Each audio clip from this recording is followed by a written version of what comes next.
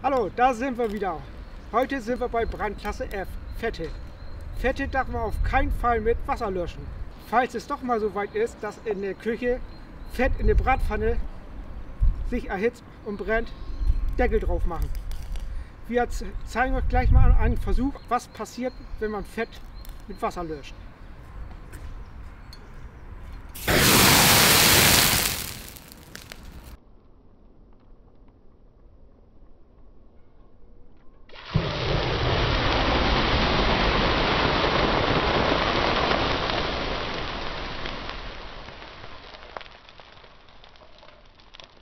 Das war Brandklasse F. Ich hoffe, es hat euch gefallen.